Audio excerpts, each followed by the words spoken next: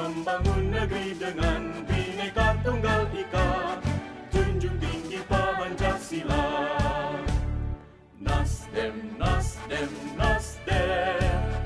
Adil, makmur dan sejahtera